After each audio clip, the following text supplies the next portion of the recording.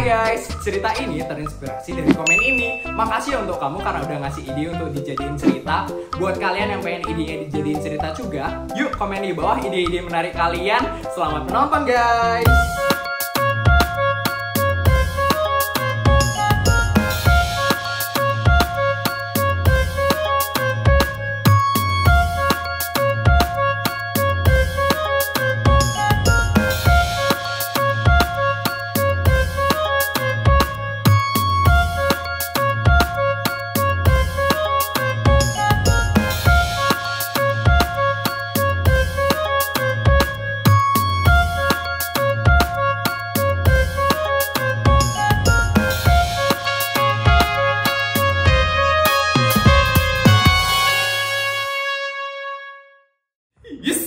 Kenapa sih mama itu harus ngebela putri Sultan abal-abal itu? Hah? Mama kenapa sih berubah banget sekarang? Pasti ini gara-gara mamanya putri. Mamanya putri pasti menyebarkan virus Sultan abal-abal. Mama jadi kena penyakitnya kan sekarang. Males banget deh. Tapi untungnya aku dikasih uang sama mama. Aku jadi bisa pakai ini buat pamer ke orang-orang kalau aku adalah sultan terkaya di SD negeri swasta. Eh, Feli, sudah pulang, cu. Udah lah, Nek. Nenek buta ya? Kok kamu gitu sih ngomongnya sama nenek? Kasar sekali loh kamu, cu. Ya karena nenek udah jarang ngasih aku uang. Makanya, Nek, kalau mau dibaikin sama aku, kasih aku uang yang banyak. Iya, Feli, maaf. Nah, nanti nenek bakal kasih uang deh kamu. Eh, se 10 juta cukup kan? Yes! 10 juta itu sekarang nggak ada apa-apanya, Nek. Aku nggak bisa beli apa-apa dengan uang 10 juta. Minimal harus satu miliar, Nek. Satu miliar baru cukup buat aku. Yes. Amplop apaan itu, Feli? Tadi dikasih sama mama. Kak, kamu ketemu sama mama kamu? Di mana? Kapan? Is, tanya banget sih, Nenek. Tadi mama nyamperin aku ke sekolah. Terus mama ngasih aku uang deh. Tumben ya mama kamu ngasih duit. Pasti sedikit ya dikasihnya sama mama kamu ya. Berapa emang dikasihnya? Satu juta? Dua juta? Atau 500 ribu? 5 miliar, Nek. Apa? Li, lima miliar? Ma, mama kamu ngasih kamu lima miliar? Iya, Nek. Mama ngasih aku uang 5 miliar. Kenapa, Nek? Merasa dikalahin ya dari mama, Nek? Ya ampun, dunia itu cepet banget ya terbalik, Nek. Padahal dulu nenek yang sering ngasih aku miliaran. Sekarang mama yang ngasih aku miliaran. Udah ya, Nek. Feli lagi capek. Feli mau istirahat dulu di kamar. Hah? Dari mana sih Clara itu bisa dapet duit? 5 miliar? Pasti dia minta sama adiknya Kelvin. Atau jangan-jangan dari hasil bisnisnya.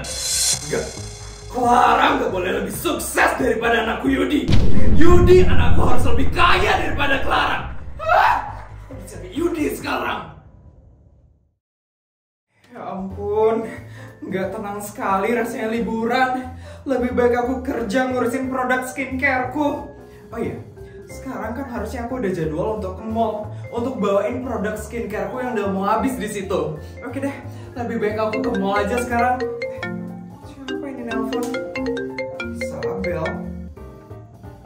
Halo Isabel. Clara, aku lupa ngasih tahu kamu. Besok kita bakal ngadain grand launching produk skincare kamu di hotel termahal di kota ini. Grand launching? Kok mendadak banget Isabel?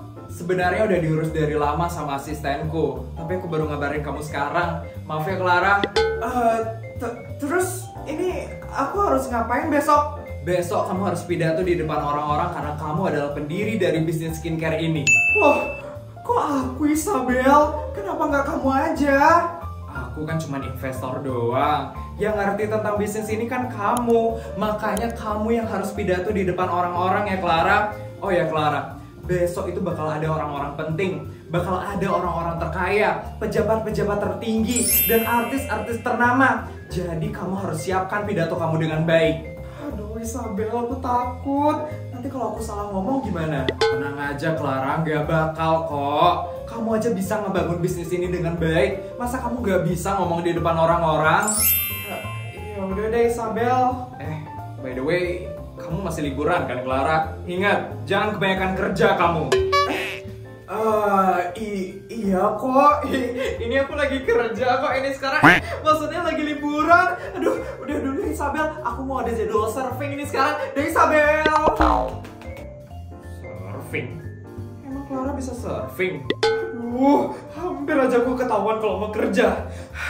Tapi besok aku harus ngomong apa ya di grand launching produkku? Aduh, nggak tahu deh mau ngomong apa. Udahlah, aku ke mall aja dulu sekarang. Aku harus buahin produk skincareku yang udah mau habis. Hah? Ibu, ngapain sih ibu jam segini udah datang ke kantorku? Astaga, ibu ini kenapa sih senang banget ke kantorku? Emangnya kenapa? Aku nggak boleh ke kantormu. Aku ini ibumu Yudi, jadi aku bebas kapan aja mau ke kantormu. Kenapa lagi ibu ke sini? Kamu tahu apa yang dilakukan sama mantan istrimu Clara? Ya nggak tahu lah bu. Aku kan nggak kepoan orangnya, jadi aku nggak peduli Clara itu mau ngapain. Yes, harusnya kamu itu cari tahu. Emangnya kenapa sih, Bu?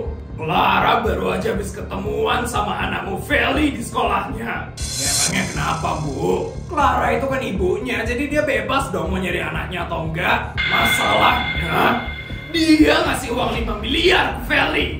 Eh, 5 miliar? Banyak banget. Dapat duit dari mana itu dia? Nah, itu dia masalahnya. Clara itu sekarang lagi ngebangun bisnis sama mantan sahabat kamu. Istrinya itu siapa namanya ya? Isabel. Nah iya itu. Aku takut duitnya itu dari hasil bisnis mereka. Pokoknya ya Yudi, aku nggak mau Clara jauh lebih sukses daripada kamu. Bisa hilang harga diri kita di depan orang-orang kalau tahu mantan istri kamu itu jauh lebih sukses daripada kamu. Apa pun yang terjadi, kamu harus terus membuat Clara menjadi orang yang rapuh. Kamu nggak boleh ngebiarin dia menjadi orang yang sukses dan kaya raya. Iya iya bu, udah kan bu? Ada ibu mau ngomongin lagi. Minta uang, uang. Ibu minta uang. Ibu, bukannya kemarin ibu baru aja habis minta satu miliar ya sama aku. Tiga hari yang lalu juga ibu baru aja habis ngambil duit korupsiku kan 10 miliar. Ibu pakai duitnya itu untuk apa aja sih bu? Yes, berani ngelawan ya kamu? Ya ya, nanti Yudi transfer. Gitu dong, transfer sekarang, jangan nanti-nanti. Ibu mau pakai belanja sekarang. Ya. Yes.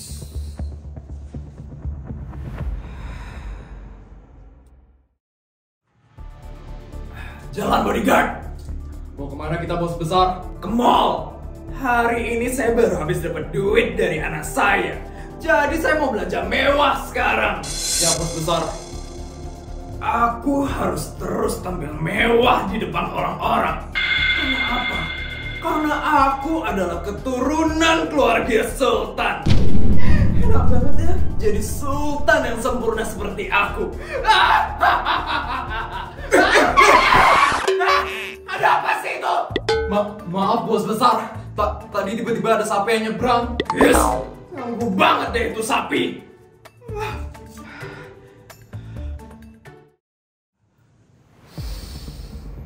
Ah, enak sekali. Ternyata bau yang paling enak itu adalah bau mall, bau shopping. Udah lama sekali aku nggak shopping-shopping mewah. Hari ini aku harus borong semua barang yang ada di mall ini. Tapi sebelum borong, aku harus periksa dulu saldo aku. Nanti nggak ditransferin lagi sama si Yudi. Ah, dasar si Yudi itu. Udah transfer belum dia ya? Ternyata udah ditransfer toh. Jadi aku bisa bebas dengan belanja hari ini. Belanja apa ya? Skincare. Kebetulan sekali skincare di rumahku udah habis. Kayaknya aku harus beli skincare sekarang.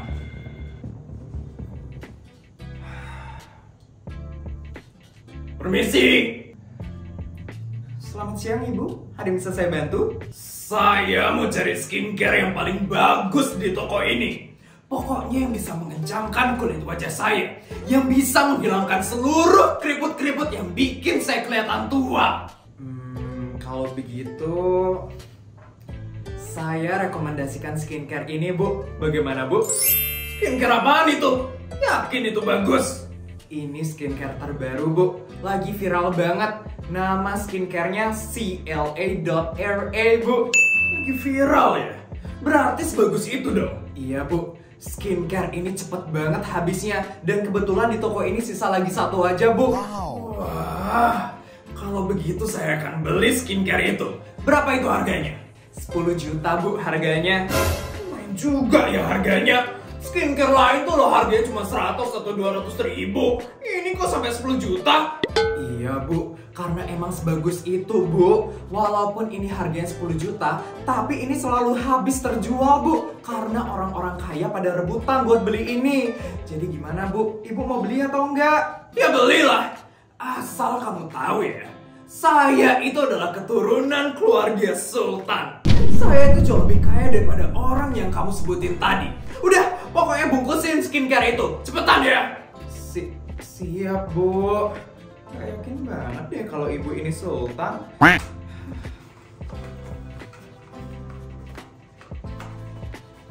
Ini ya bu produknya Wah, bagus sekali kotaknya. Ini kartu saya.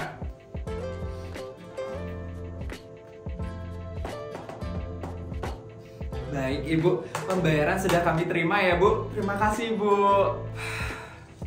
Eh bu, kenapa lagi? Kartu saya tiba-tiba nggak ada saldo ya? Eh, Enggak bu Terus kenapa?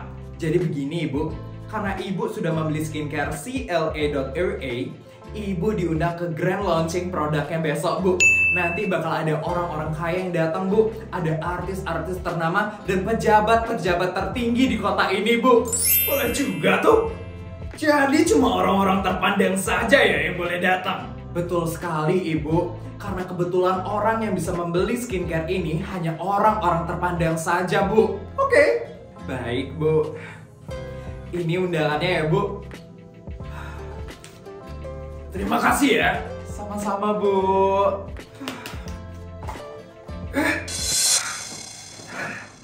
Mbak, produk skincare-nya katanya udah mau habis ya.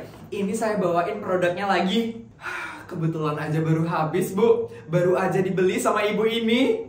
Eh, ma makasih ya.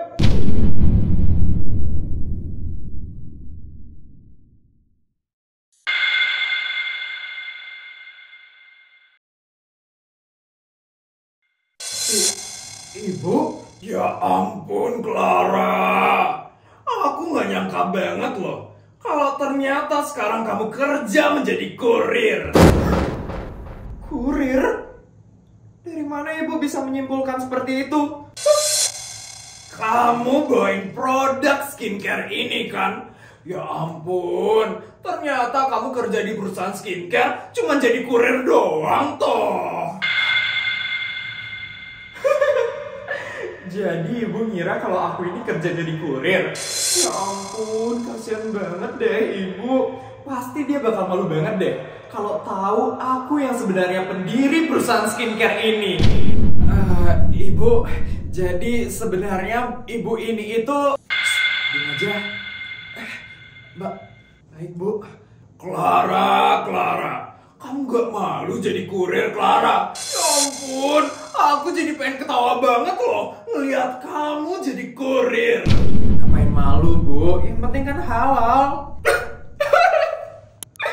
Clara, Clara, aku kaget banget loh Clara. Ternyata kamu bisa turun kelas sejauh ini ya. Ya ampun, cuma jadi kurir doang lagi.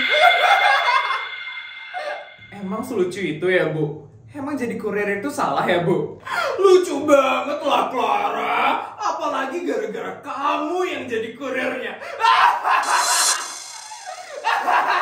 Emang kenapa bu kalau aku jadi kurir? Ya itu artinya hidup kamu sekarang menyedihkan Clara.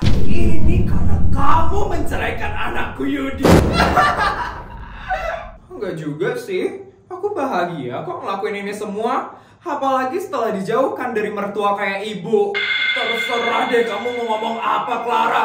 Yang penting kelasku udah jauh di atas kamu. Sekarang kamu jadi rakyat jelata. Sedangkan aku dan anakku Yudi masih menjadi sultan nomor satu di kota ini.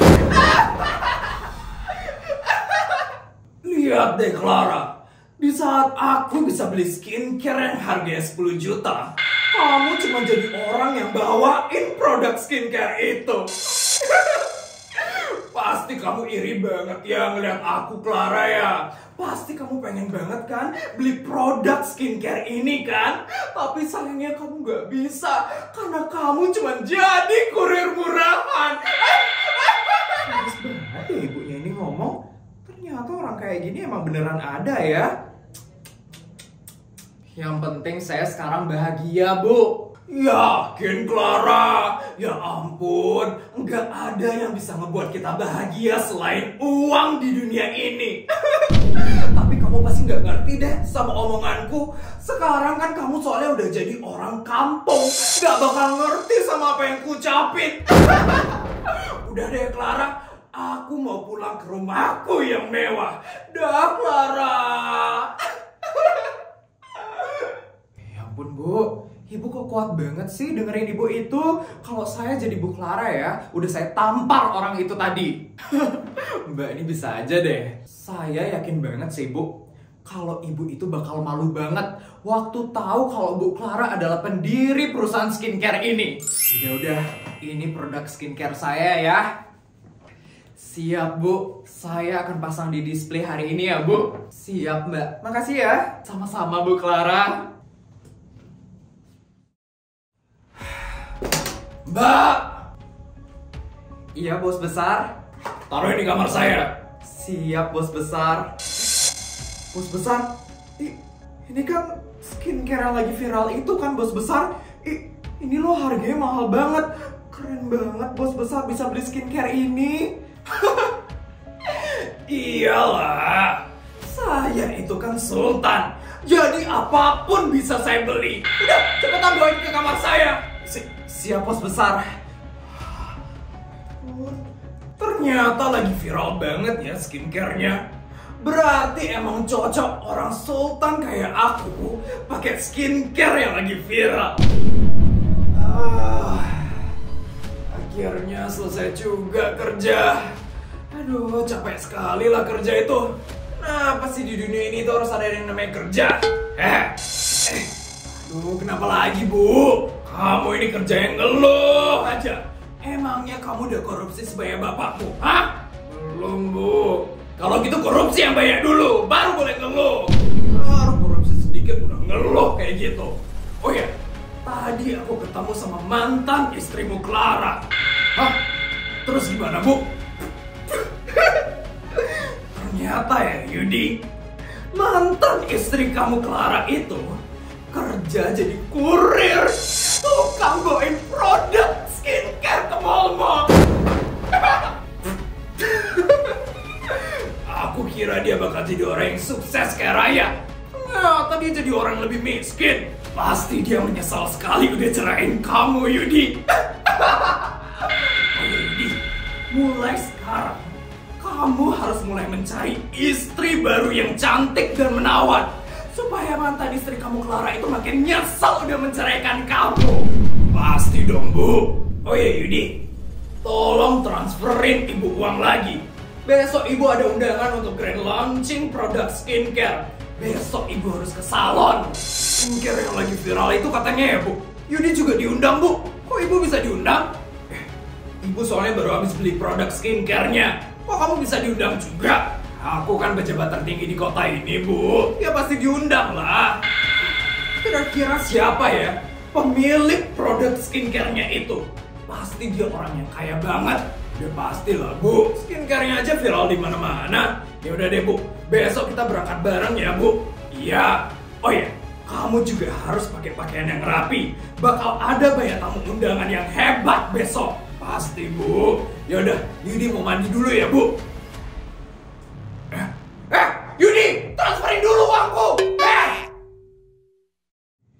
Sound sudah aman, MC sudah aman, makanan sudah aman. Oke, semuanya sudah aman. Asisten, gimana persiapannya? Semuanya sudah aman, Bu. Kita sudah siap untuk melakukan grand launching opening produk dari skincare CLA.RA hari ini, Bu.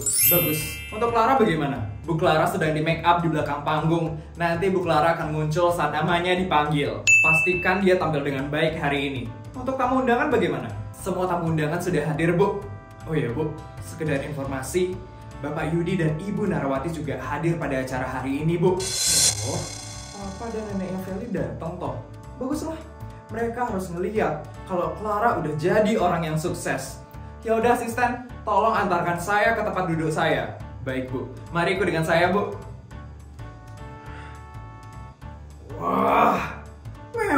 Sekali ya tempatnya. Makanannya juga enak-enak banget, Bu.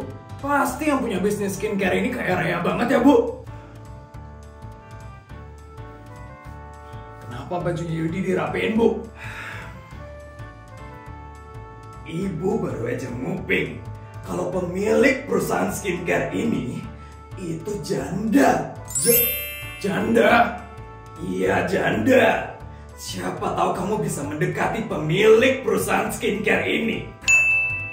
Pokoknya ya Yudi, ibu mau calon istri baru kamu itu orang kaya. Orang sultan juga. Biar saling ngerti isi pikiran kita.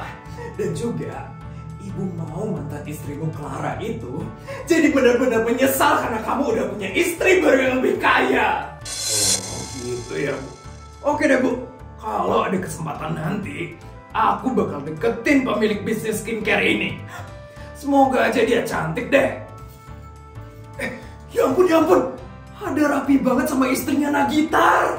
Tamunya emang orang-orang hebat banget, Bu. Tadi aja aku dapat ngeliat Pak Presiden sama Gubernur pada ngumpul. Eh, itu itu kan TikToker terkenal, Bu. Itu loh, wala salam, Bu. Wah, keren-keren tamu undangannya.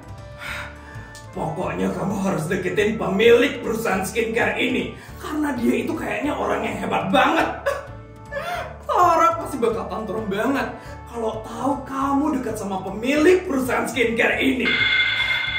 Menurut ibu, aku udah cocok belum deketin pemilik bisnis skincare ini? Cocok banget lah, lebih dari cocok. Cewek mana sih yang gak mau sama kamu Yudi? Kamu ini karirnya bagus, pejabat tertinggi di kota ini. Duitnya juga banyak. Oh, pasti semua orang bakal ngantre buat deketin kamu Yudi. Asisten, mulai acaranya sekarang. Baik Bu Isabel. Operator, mulai acaranya dalam 3, 2, 1, mulai. Selamat datang pada acara Grand Launching Produk Skincare CLA.RA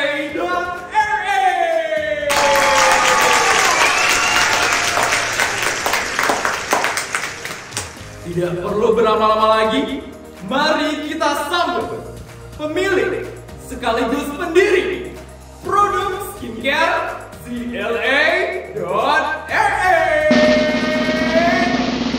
Ini calon istri baru kamu.